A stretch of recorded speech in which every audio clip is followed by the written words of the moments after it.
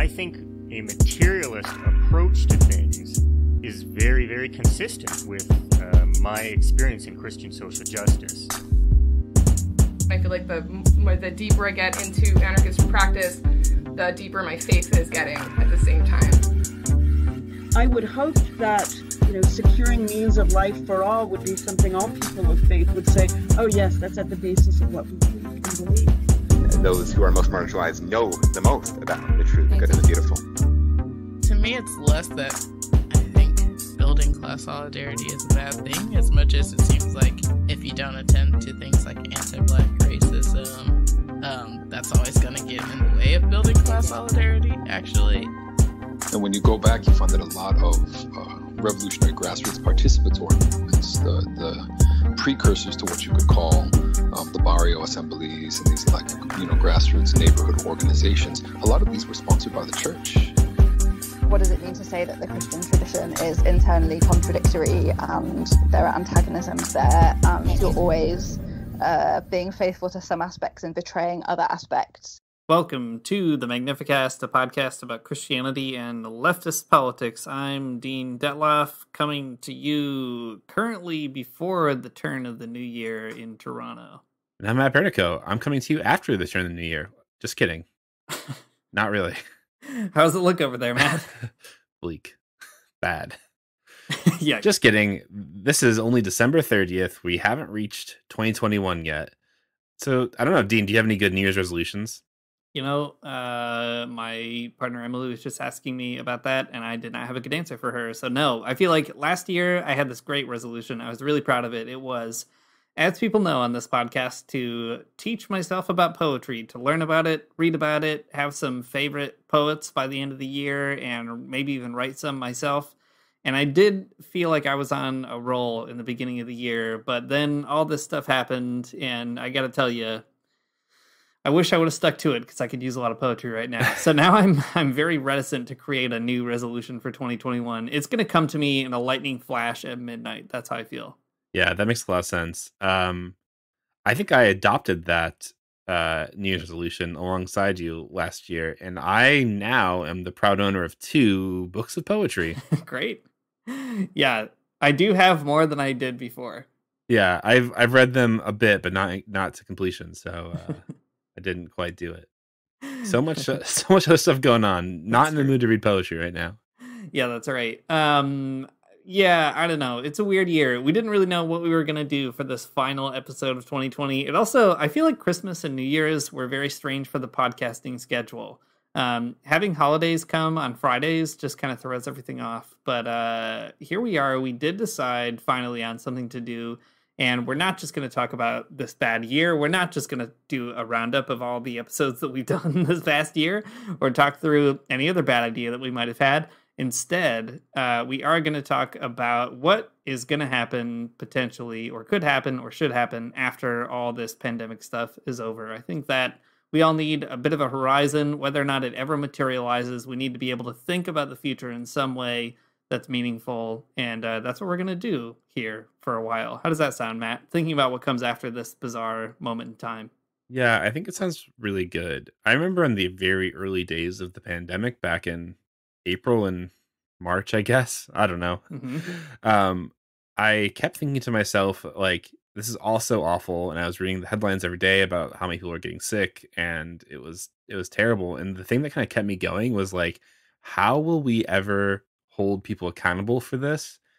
And uh, I hope that we do. I guess is kind of maybe that's my New Year's resolution this year. My New Year's resolution is to hold people accountable to the bad things they did during COVID nineteen pandemic. Um, I, I, think though I, there are other organizations that are starting to think about this out out there. Um, other you know NGOs, other political organizations, um, starting to think about like what does it mean uh, to have some kind of systemic and society wide recovery, right? Uh, the the big vaccines on the horizon for a lot of people. Um, it's slow going. It's a slog. People in the United States have gotten it at such a slow pace.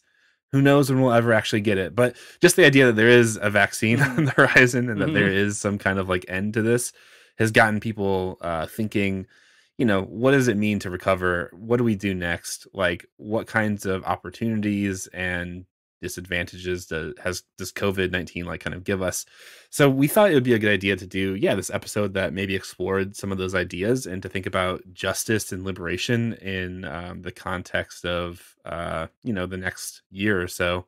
Um, kind of coming out of this weird COVID time. So uh, here it is, our official Christianity and socialism take on uh, I don't know how to use this time where the pandemic is not quite over, but maybe almost uh, to our advantage. Yeah, I mean, it's so hard to have this conversation in general, and I'm sure a lot of people feel this way. I do anyway, because nobody really knows what's going to happen. I mean, we we're all sort of hoping that the pandemic will be over, but governments say that I don't know we might be in the same boat a year from now or something. Uh, my impression, I guess, is nobody really has any idea what's going on. Uh, planning for the worst, I guess, which is probably the best um, thing to do. But nevertheless, it is important to consider whether it's done, uh, whether the pandemic is basically over in in you know whatever six months or twelve months or longer. Uh, we have to be thinking about how to demand something different, and like you said, Matt, hold people accountable. Um, I think that for me, it's it's also hard to have this conversation because it does feel so debilitating. Like pandemic life mm-hmm. feels demotivating. You know, not being uh, able to sort of freely gather with um, all the people I used to gather with, or be able to show up downtown at a big rally with a big flag or something like that. Right? You can't really do that um, in the same way anymore. And so it can sort of feel like, well, what is there to even do or, or hope for? But thankfully, uh, there are a lot of people trying to imagine that, and not only Christians and not only socialists, but both. So, true to Magnificast uh, style, we'll try to maybe figure out what the Venn diagram connections are between what both of those groups are proposing. And Matt, maybe we can also think through how to uh, make those boundaries a little more porous or try to figure out um, where those folks can talk to each other a little bit more uh, I don't know, off the bat, Matt, before we get into any specific things here, um, what's your uh, your major what's what's on your mind when you think about a recovery from the pandemic? I guess what's your kind of major um, touch point or, or theme, or where does your mind seem to be going when you think that through? Yeah, well, I think just because of maybe the the circles that I travel in these days, uh, the thing I think of first is always about essential workers. uh, you know, in the in the early days of the pandemic, even until now, um, we've created this whole new category of worker, which is kind of bizarre and probably in some ways works against the labor movement. But we can talk about, about that more maybe. Um, you know, we've created this term essential workers where all of these groups of people, all of these um, types of occupations fall into. And uh, you know, the the term essential here is kind of relative to uh whether or not your boss wants you to come to work, mm-hmm. I guess. But um, I think that's a really interesting thing that's happened where all of a sudden um, a society that has basically thought of, uh, you know, people on the front lines uh, or people who are essential workers as completely disposable. Uh, you know, we've seen people at least shift in their mind the way they think about them. I mean, there's like tons of really cheesy stuff too, like you know, in in New York or in other big cities where people would go out and clap on their porches or whatever for uh, you know, EMTs and other medical workers. And I, I, don't know. That's fine. I have nothing wrong with that. Give those people a clap for sure. um, but I guess like it's just really interesting to me that that has something that's really risen to the top. Is like, uh, you know, even people have like in my neighborhood at least they have like yard signs that are like "Thank you, essential mm-hmm. workers." and I don't know if anyone's reading them, but uh, anyways, all that to say that there's like this new sort of um, there's this new glorified and rightfully so category of worker in the popular imagination of people, uh, at least in the United States. I'm sure Canada's probably the same way too, Dean, but you can tell me, I mm-hmm. guess. Anyways, I think it's all really interesting, and it would be really great to uh, see a lot of emphasis given to those essential workers that people care so much about now. Uh, that's done. I mean, you know wh- whether i mean it won't naturally happen right? It's going to have to be definitely a, a process of political pressure but um, if we all really care about essential workers as much as we say we do um, maybe it's a really good time to change some labor laws. It'd be a good time to pass the the protecting the right to organize act in the, in the united states to make it easier for people to join a union. It's a great time to um, start talking about raising the minimum wage uh, you know to something way higher. Uh, you know, all of these things. Uh, I think the the um, as we recover, uh, hopefully from a pandemic in the coming year, um, it gives us like a really great opportunity to think about uh, the way we think about workers in our society and the way that we empower them. So maybe that's a, a place that we can kind of start thinking about a just recovery. Yeah, I think that's good. Um, and it's true. We do have the same sort of bizarre uh, essential worker valorization in, in Canada, which is a, a, difficult thing to think through, good in some ways, bad in others. Um, yeah, but it's good to get that on the table. We'll talk more about that too. I think for me, the thing that is sticking out the most is attention to internationalism. Um, it's both my kind of greatest hope and greatest fear that maybe the COVID pandemic will, I don't know, put some kind of sense of global solidarity in certain people's minds where it wasn't before. You know, I think about like one thing that has been so fascinating about the pandemic is that uh, you really get a sense of the diversity of political experiences in the world that maybe you wouldn't otherwise, right? Like, uh, as we always mm. say in this podcast, say what you will about China, but uh, in the case of COVID, I mean, they did certainly deal with the pandemic in a pretty impressive way, so much so that, you know, the UN and the WHO and everybody else is saying there's lots of lessons to be learned there. Um, but it's not just China, even uh, other countries, um, you know, Vietnam, Cuba, other socialist countries have managed to keep their um, response incredibly impressive despite having, you know, no resources at all. Uh, but even beyond socialist countries, I think like people in the United States probably don't spend a lot of time thinking about like Japan and South Korea and even Australia or New Zealand or other countries in general, I guess, um, because the US is such a chauvinist country and i think mm. i guess my my hope is that people may have recovered some sense of belonging to a bigger world community and also some sense to that you know the united states is not actually doing the best job uh, at every single thing i think probably people that listen to this podcast i would hope are not american exceptionalists but uh you know i've already noticed just talking with like family members and friends in general who i probably wouldn't expect to to have that kind of global awareness people are already you know, just talking about how, you know, in other countries people can do this and that and why can't we do that here? And those are really encouraging critical questions. So I'm I'm hopeful about that and also just concerned because, you know, that can lead to good and bad things. But nevertheless, important to recover that sense of internationalism. Yeah, I think it's a really great point. I mean, it's uh I appreciate that you laid it out that as like a, a sword that cuts both ways. On the one hand, you recognize that you're part of a larger world community uh, which I guess is kind of ironic given the extremely isolating nature of this yeah, right. uh, whole pandemic situation. But also, uh, it does lay bare any uh, claim to American exceptionalism. Um, you know, you can look at the numbers and uh, and and see the uh, the fruits that the healthcare system in this country bear. Uh, it's not good. Mm. And I don't know how you'd think that after this, but I mean, people will continue, I guess. But still, it'll be a lot easier to have conversations, right? Like, um, uh, in the United States, well, okay, people in Canada, you're talking about recovery, you're talking about justice, you're talking about uh, how to hold people accountable. People in the United States are just like worried to death that nobody's going to have any money and get evicted from their right. house uh, because that's sort of the the uh, political landscape of of this country. But um, I guess it, it, strikes me as being funny because in that discourse, people, um, you know, right wing politicians are coming out and saying like, you know, uh, if uh, a big stimulus check or whatever, a COVID relief check of two thousand dollars or whatever that's socialism. Mm-hmm.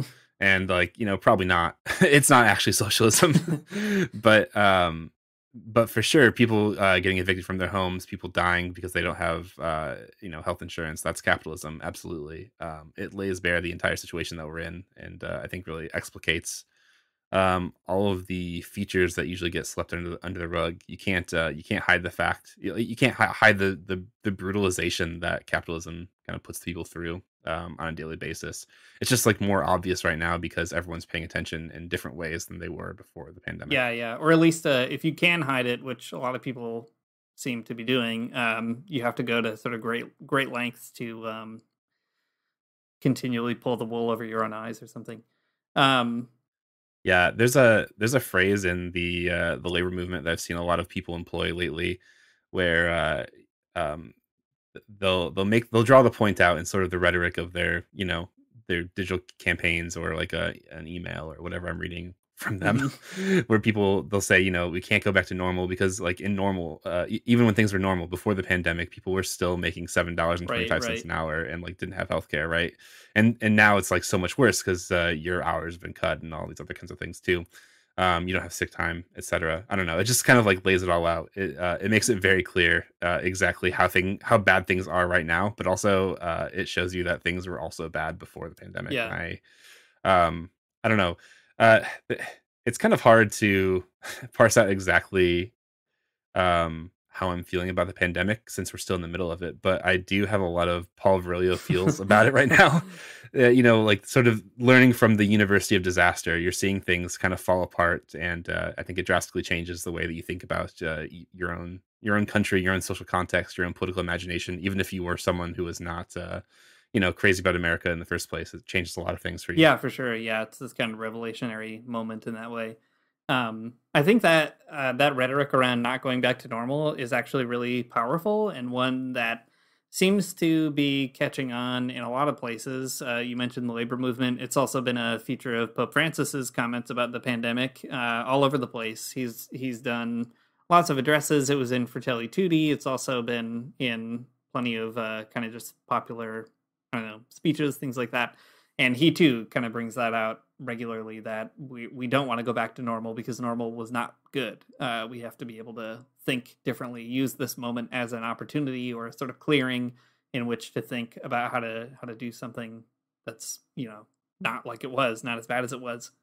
Um, I think that is a good rhetorical move. Uh, whether or not it catches on, of course, has uh, well, I guess we'll find out. It has to sort of be tested after this. I'm not very confident, but nevertheless, um, it is good to sort of key on in on what rhetoric sort of works.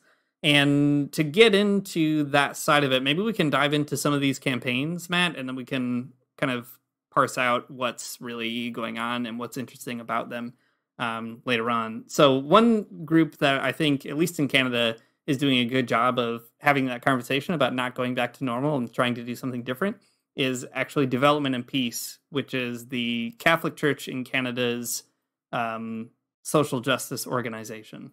So it was established by the Catholic bishops um, many decades ago now, like 60 years ago or something. Uh, but it is um, it's kind of well we've had jim hodgson on this podcast several times before so if you listen to him talk about his work at the united church this is kind of the catholic version of that. So they have uh, partners all around the world in different countries that they have relationships with and that's kind of where they gather their um, information and from where they build their campaigns that sort of thing. So in terms of uh, the pandemic they put together a campaign called the recovering together campaign which is pretty impressive, actually, uh, especially for something that had to be put together quite quickly. I'm sure they had lots of other plans um, this year, but they uh, managed to put together a good campaign that gets a lot of things out on the table. And I'll just mention a few things that I think are really relevant here for for Christians, especially, but socialists too. Um, one is that they they talk no, not only about that need to recover differently, but they point to a number of concrete things to do um, we can talk more about other groups they work with to sort of come up with different principles. But again, going back to that internationalism I was talking about earlier, they really root their campaign in their relationships to people in other countries. So for them, the pandemic, you know, we don't want to go back to normal in our own countries because that was bad. But we also don't want to go back to normal in terms of our global relations because the people that they work with on a daily basis outside the pandemic are suffering all the time from the effects of global capitalism and uh, all kinds of other injustices. Um, so I don't know. I mean, Matt, you've had a chance to look at the campaign a little bit. I've been looking at it uh, longer, just by virtue of you know following it uh, over the the past several months. But um, I mean, what do you think about this kind of thing? Like, uh, here's a, a, sort of Catholic Christian organization trying to figure out how to find a language and some demands to put together for a, a just recovery. Uh, how can Christians maybe intervene in that conversation? I think it's such an interesting thing. Well, let me note here really quick too that um this campaign, like you said, Dean, is is like from this like sort of Canadian organization of the Catholic Church. Um I maybe I'm not plugged into the right places, but I have not seen so much of this type of language from um from organizations in the United States.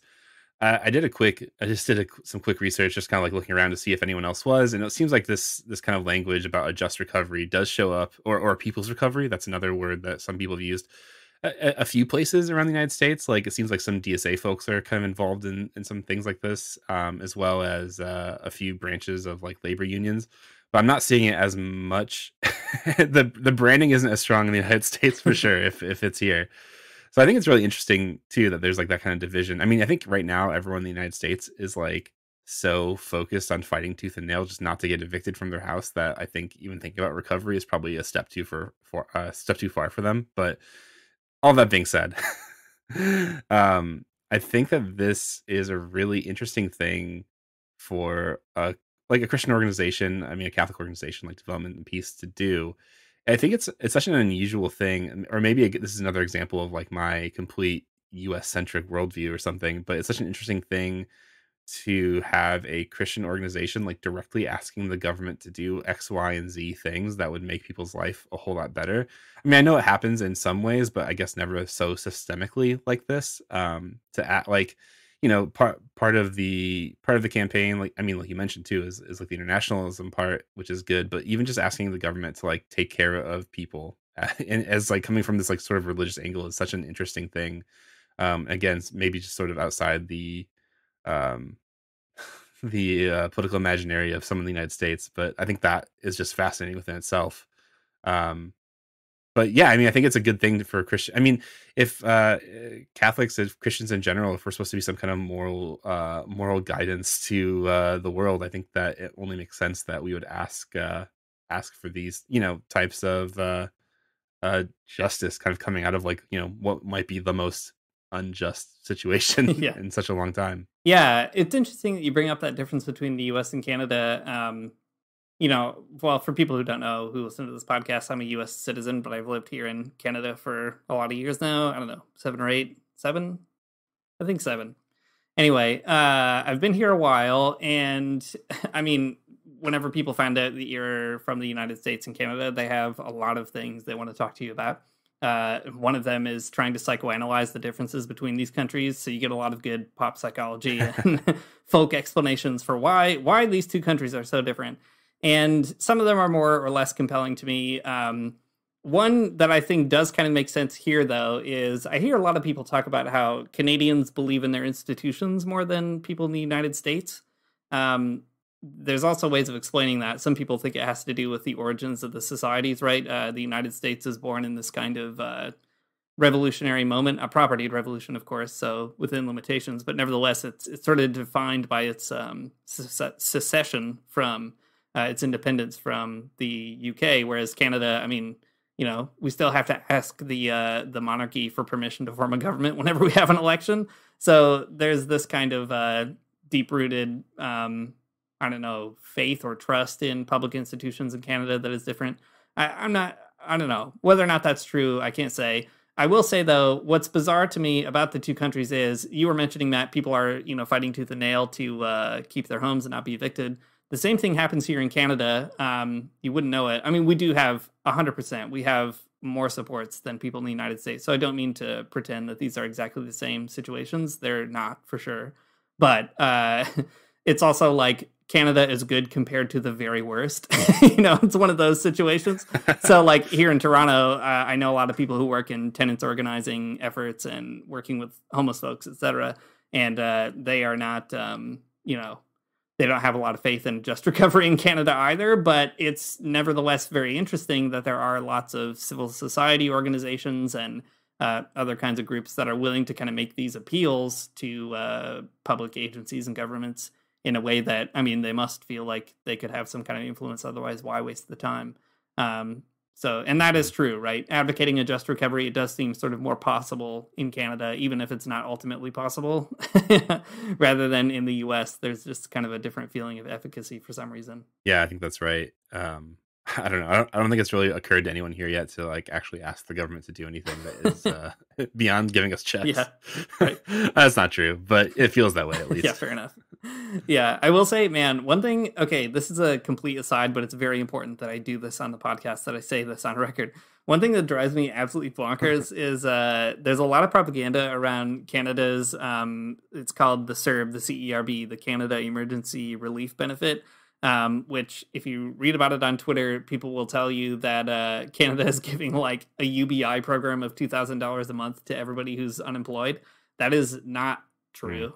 It is uh, wildly limited, tied to your taxes. Um, it is means tested, and it will be taxed uh, again later in the spring and potentially clawed back. And also, um, it's not the case that if you're just unemployed, you qualify. It's uh, a whole kind of list of things. You have to make a case that you uh, lost your your job, and opportunity because of COVID. It's it's bizarre. It's like a huge mess. Uh, that being said, like I said, it is way better than what's going on in the US, which is nothing. Um, and you know, my uh, I've directly benefited from it, so I'm not upset about it for sure. I'm, happy that I get it, uh, no doubt about that. But um, don't don't believe the hype. I guess is what I'm saying. We need more. Uh, we need not less, but more. And we shouldn't be satisfied with uh, table scraps. That's what I'm trying to say. Whether you're in Canada or the U.S., you should demand more all the time. yeah, absolutely. Well, let's talk about some of like what the what those things are that people are really demanding. Um, so, development peace, they've signed on to a campaign uh, with a handful of principles uh, about uh, what a just recovery looks like. I think they're kind of interesting um, insofar as I think that they are. I mean, whether you live in Canada or the United States, I think that they are actually things that probably would translate to both places broadly. But I think what's really interesting about them is that they really open up the space to have some deeper political conversations with people mm-hmm. than you probably would have normally, and that's kind of fascinating. Um, so, right, development peace. I signed on to these principles from an, another campaign called Just Recovery. Uh, Dean, do you want to run us through the, the principles here really quick? Tell us all the sure. good ones. There's six principles. They go like this. Put people's health and well being first, no exceptions. That's the first one. Two, strengthen the social safety net and provide relief directly to people. Three, prioritize the needs of workers and communities. Four, build resilience to prevent future crises. Five, build solidarity and equity across communities, generations, and borders. And six, uphold indigenous rights. Um, and uh, work. Sorry, this the font on this one is very small uphold indigenous rights and work in partnership with indigenous peoples. Um, they outline what that mean, what all these principles mean in greater detail in the campaign, but those are the six in brief. Yeah, not such bad things actually. I think they all sound pretty okay. I mean, um, I think that they are probably ultimately too vague, even with the extra explanations. But um, but fine. I mean, if you're coming up with a broad list of things that people can just generally agree to, I think these are all like things that people would have a hard time saying no to.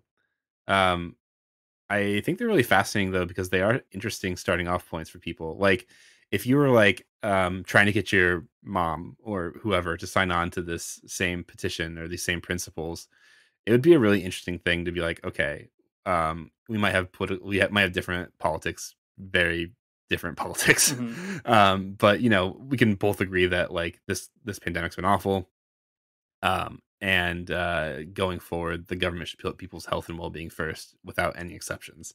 And it would be a very interesting conversation to have with somebody, mm-hmm. right? And like, I think what's so fascinating about coming, it, like, of this portion, I think of the COVID nineteen pandemic is that like, um, yeah, I, I mean, so, so, much of the bullshit just kind of gets like pushed away, right? Like, I mean, political ideology is certainly still a thing. I'm not gonna say that's gone or whatever, but the material conditions definitely pull out i think a lot of um it cuts a lot of the bullshit that kind of gets gets in the way right? Like um people who say that they're for small government and small government only like i don't know. It's hard to say that it's hard to say that this side of the covid pandemic that that's what you're for when um uh people don't have money to pay their rent they don't have money to go to the hospital. Like it's hard to say that you're for like no like small government when you can see people suffering and that like you can see the exact uh, results of like what those types of policies get you um i, I guess I'm, I'm, what i'm trying to say again is it's it's explicating the sort of situation mm-hmm. that we're in um and i think that's really interesting and, and these these principles um, i think help draw those out in, in conversation with people. Yeah that's right. I mean it is uh, the explication that the pandemic has afforded has definitely given the why to a lot of economic ideas whether or not people realize it right? Like if you talk to any libertarian for two minutes, they'll be like, if the government just got out of the way and everyone just did what was in their own best interest, it would all be fine. But that is literally what's happening in the pandemic, right? The government did get out of the way. It's, true. It's not telling anyone what to do and uh, not giving them any help, and people are making stupid, bad decisions all the time. Uh, so you know, I don't know. It, it's it's perversely helpful in that respect, although it's unfortunate. It's not. It shouldn't be. Uh, you shouldn't need a pandemic to convince you that being a libertarian is is not smart, but maybe you do. I don't know. Uh, what I think is great about this campaign, though, is you're right, Matt. Some of them are vague, but some of them are quite specific. Like, so the the principles in themselves are broad, but in the details, for example, in the the workers one, which of course is interesting for socialists, they say uh, support must be distributed in a manner consistent with indigenous sovereignty, a climate resilient economy, and worker rights, including safe and fair labor standards and a right to unionize. Improved conditions for essential service workers must be maintained beyond the crisis and they go on to say that like bail- bailouts should be to working people, not to uh, CEOs or whatever. Um, and I think that mm-hmm. you know, like those are still kind of broad, but they clearly point in a certain direction, and they they get your mind thinking about you know, yeah, like working people are the backbone of of a society, and you got to keep that thing strong if you don't want it to get thrown into crisis. Um, the fact that something you know, so this is a this is a campaign that a lot of people have signed on to development and peace is one of them but there's also a ton of like if you look at the the endorsers there's a ton of other religious groups. So there's other churches um some individual congregations even around here. Uh, some you would expect like kairos which is the uh, social justice organization of the united church in canada. Um, again shout out to jim hodgson and all his good work. Uh, but uh, uh, not i'm not saying he's uh, responsible for that by the way just saying a very cool guy. Um, anyway, lots of other lots of other Christians involved here, but including uh, like the the Society of the Sacred Heart is on here.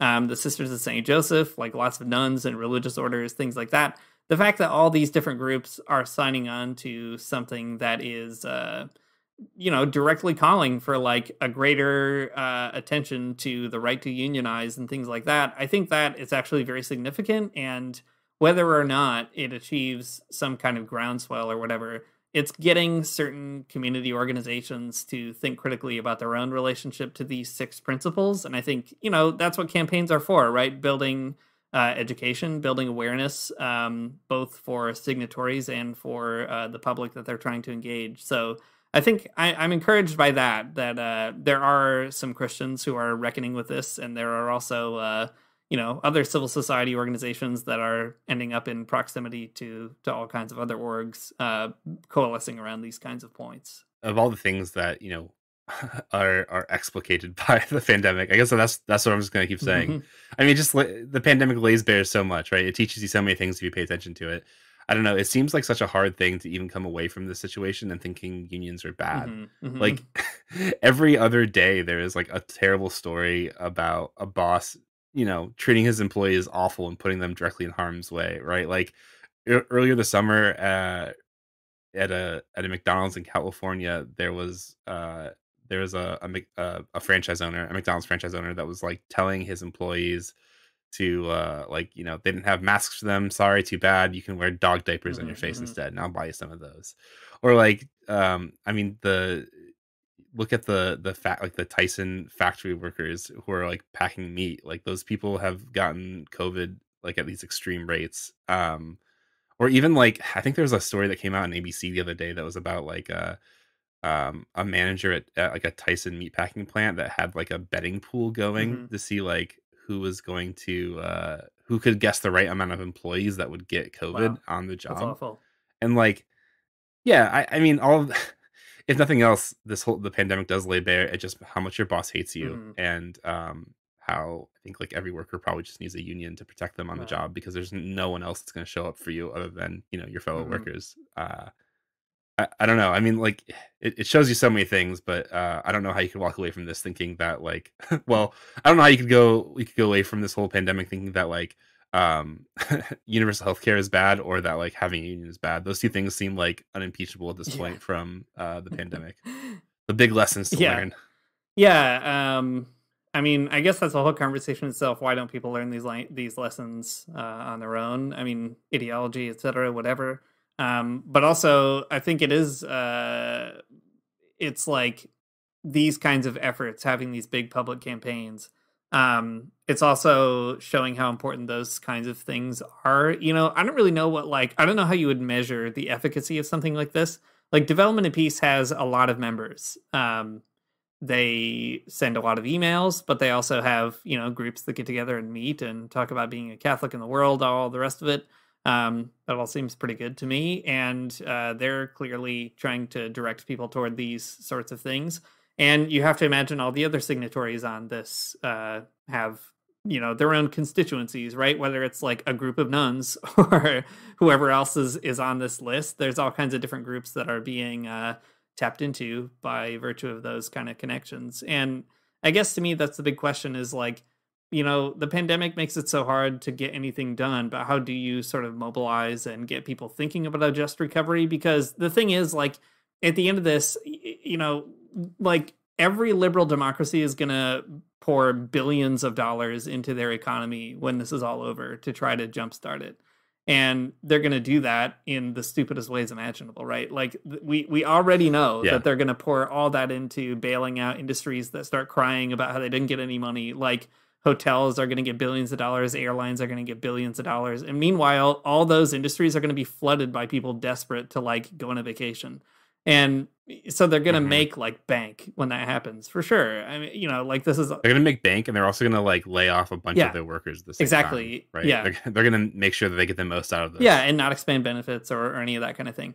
So to me, it's like right. we all know that that's coming. I mean, we all who think about these things, I guess, know that that's coming. So it's like, um, how do you prepare now for that inevitability rather than kind of waiting for it to happen and then get pissed when it shows up at your door? You know, and I guess to me it's like I don't know, like the the best you can probably do is be part of some kind of organization, whether it's a socialist one or a Christian one or something that is trying to mobilize people now in whatever meager ways are possible. And uh, you know, like um, be aware of of what these campaigns are doing. Like that's that's the least that these people can do, and I think it's actually kind of a lot to like be telling people, yeah, we need a uh, attention on building workers' power, giving people the right to unionize, and you know, framing that in terms of like the rights of indigenous peoples, etc. Like that's uh, that's a very important thing to be doing right this moment is finding people who are already doing the work. Yeah, I think that's exactly right, man. I think like once a week or at least once every two weeks, someone will DM me or email me and be like, "Hey, Matt, I've heard you on this podcast. What organization do I right. need to join to to be a part of this? And I don't know the answer to that. Um, but other people in your community do for sure. So ask somebody ask somebody else right. not me. What do i know? Um but it, it's true. Other people are doing this work already and it's so important to be plugged into it somewhere along the line whether it is you know a socialist party uh, or whatever or just a labor union or uh, some other kind of kind of advocacy organization. It's so important to be like involved somehow. Mm-hmm.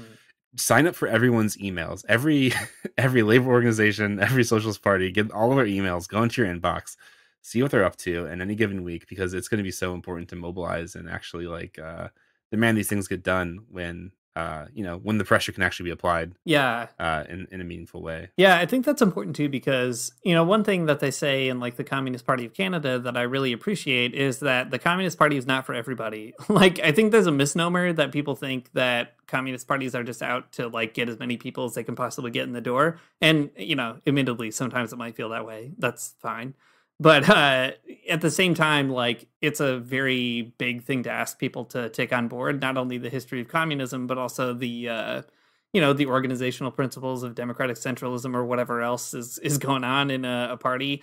Um, but the the presumption is not everybody's going to be able to abide by that and that's okay.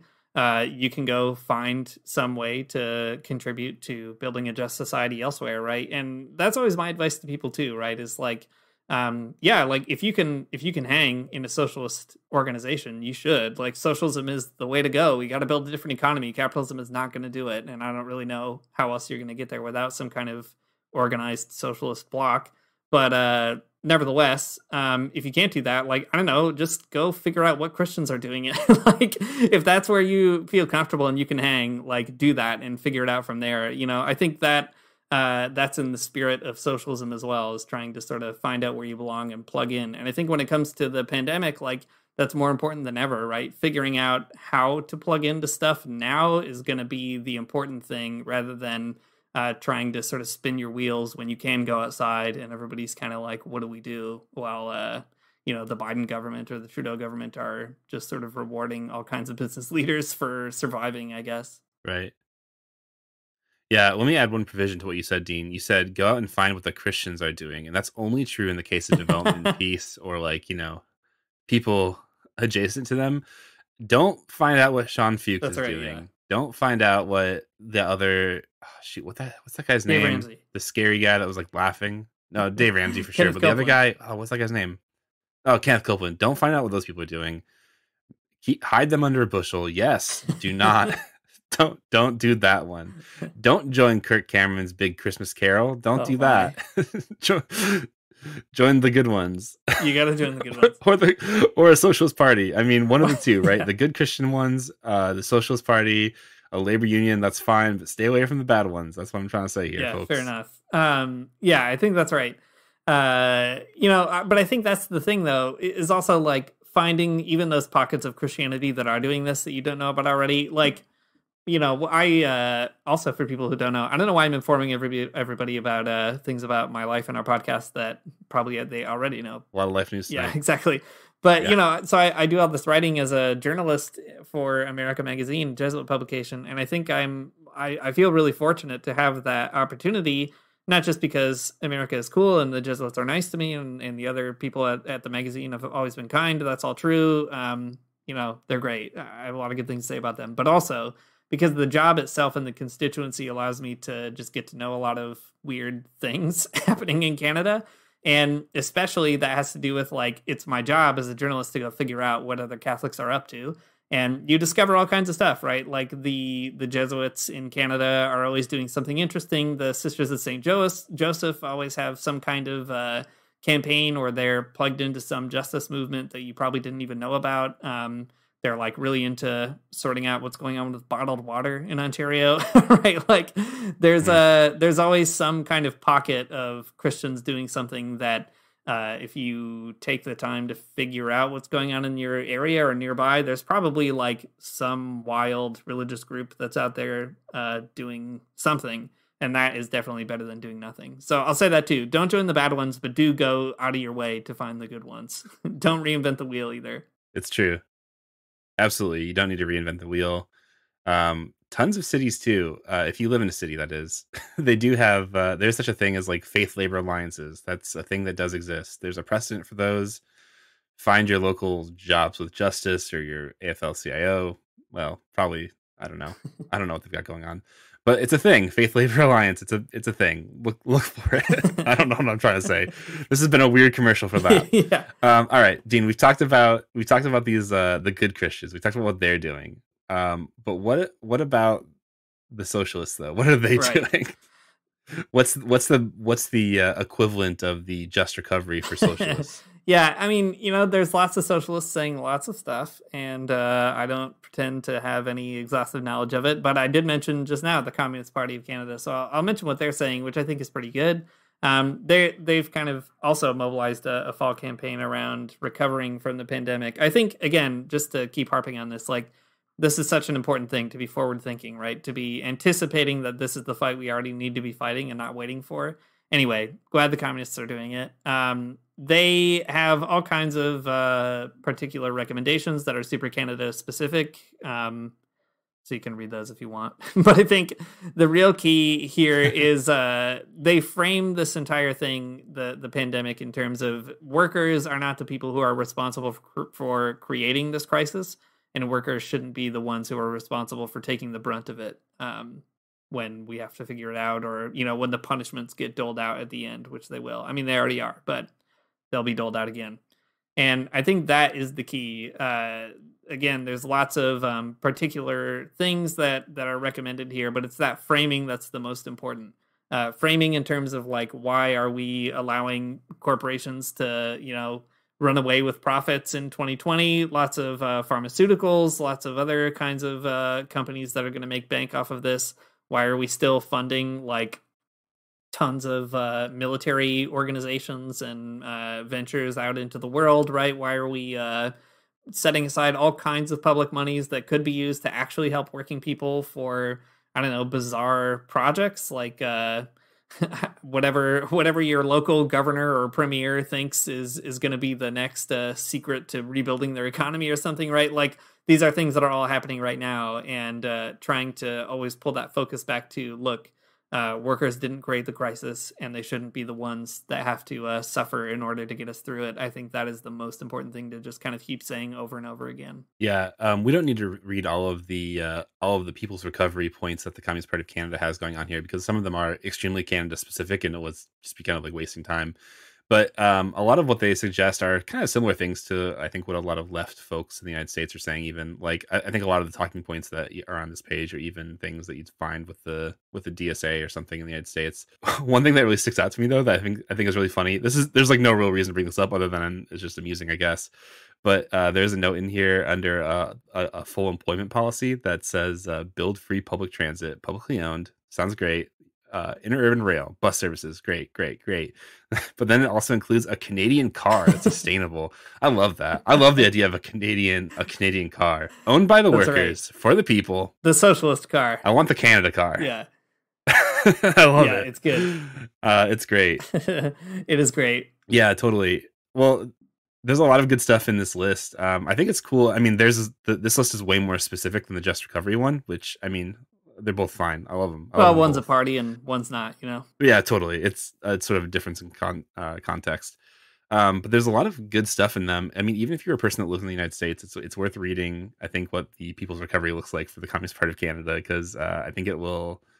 Uh, I don't know. It's a good thing to to start th- seeing what people are thinking as politically possible elsewhere in the world, and maybe even comparing it to what is politically possible where you live. Because looking through this list and I'm bummed that I that like I don't know some of these things wouldn't even be on the table. People would just you know laugh you out of the room for saying a lot of it. Yeah, I'll say uh, um, they're not really on the table in Canada either.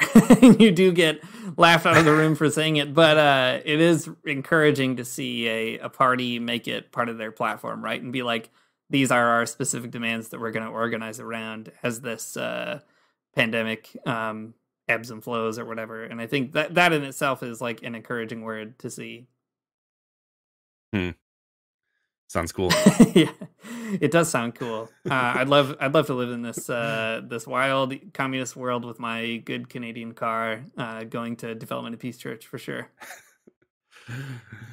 beep beep! Here comes the communist car. um, maybe just to kind of close the conversation out, though, uh, I think it might be helpful to turn back to an idea we talked about, I guess, two weeks ago when Richard Gilman-Opalsky was on the show. Um, so if you didn't listen to that episode, you should go back and listen to it. It's a good one. It's one of the most popular Magnificast episodes yet. So don't sleep on the Richard Gilman-Opalsky episode. Uh, but I, I, guess I'm I'm thinking about the ways that some of what he was saying about love and revolt have a lot to do with the kind of moment that we're living through right now. Um, towards the end of the conversation we had with him, we were kind of talking about um, what is what does love have to do with uh, going out into the streets and like demanding things and uh, even maybe being kind of rowdy if if it comes to that, mm-hmm. right? And uh, he said that you know when you gather in the street with people, when you show up to a protest, when you show up in revolt, uh, what you're doing is like you're telling everyone else that you are interested in think of another world that's possible.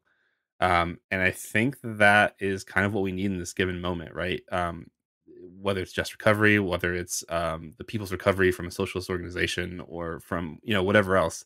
I think it's really important to show up in these spaces, whatever they might look like, you know, whether it's Zoom or group chats or whatever, and like let people know that you're interested in thinking about what the world could look like. Um, because the one that we have right now sucks shit. It's so bad. uh, absolutely the worst thing I can imagine. Um, and uh but yeah showing up uh to show people that this is like not what could be and to maybe talk it out to figure out what what could be better with people is like really worth our time right now.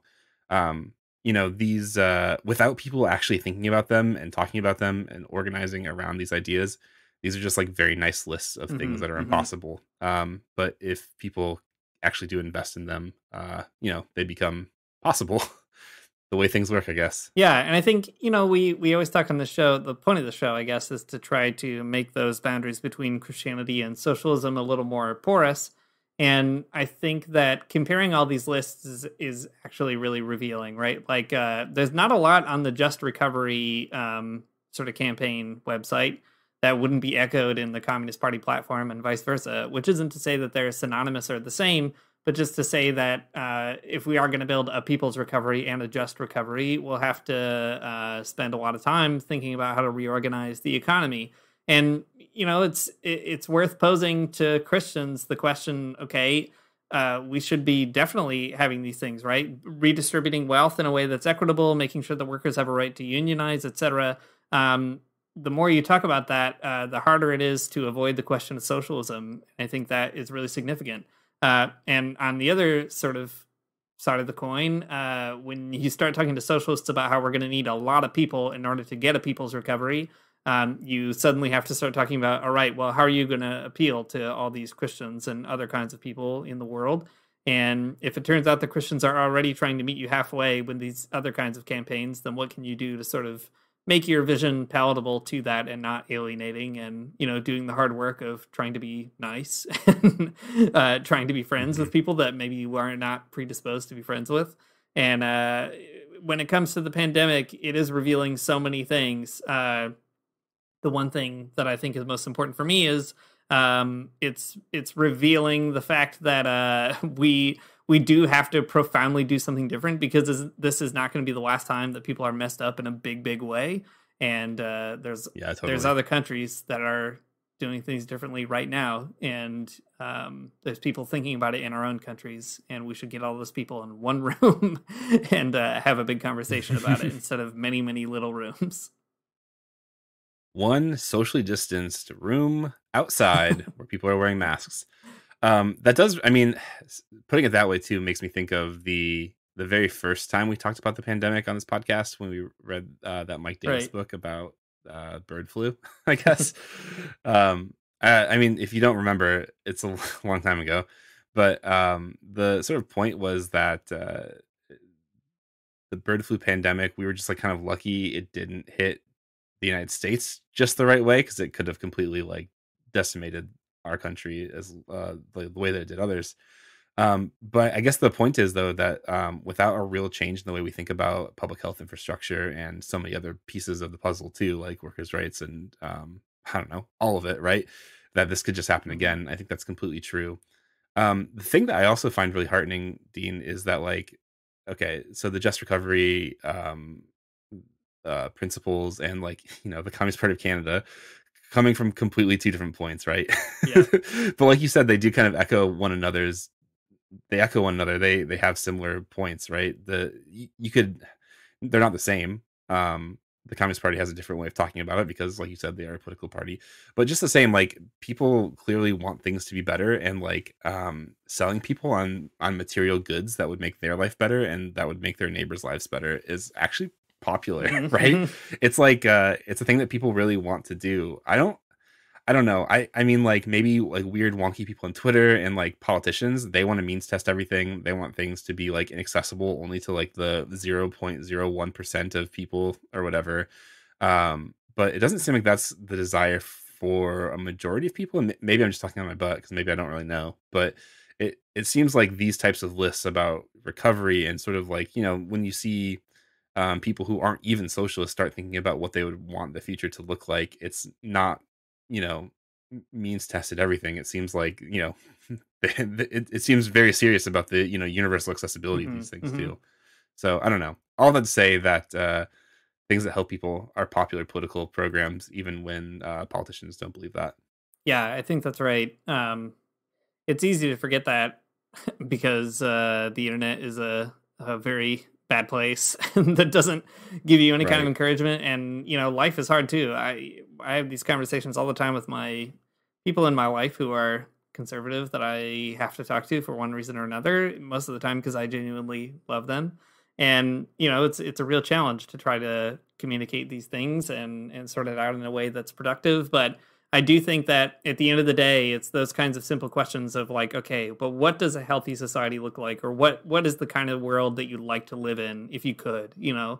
And I, the best conversations I've ever had are ones that are kind of like, yeah, I do want to live in a world where everybody feels safe, secure, healthy, they have access to opportunity, all that kind of stuff. And if you can kind of build those those baselines, uh, you can have better conversations about all right, now how do you even get there? You know, and those are harder conversations, Mhm. but uh, to build a just recovery, they're the ones that you got to have.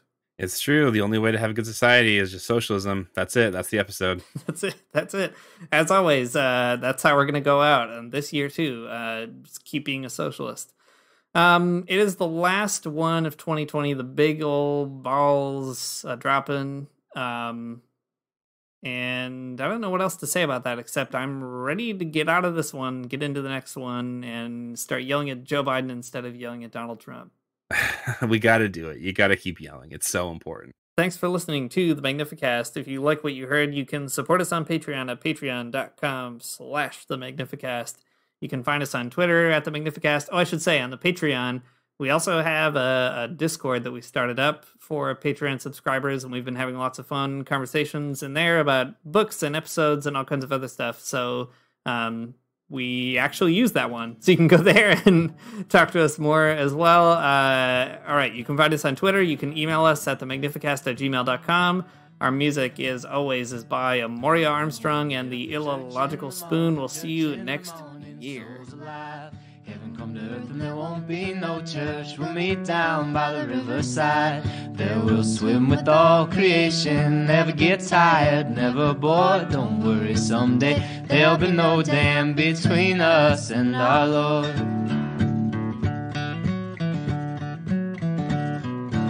Jackson, keep your hoods up. Keep your hoods up and you stay up late. Jackson, you keep your hoods up. Well, you keep your hoods up and you stay up late. Oh, don't mind a cold night, but we might mind if you leave too soon. So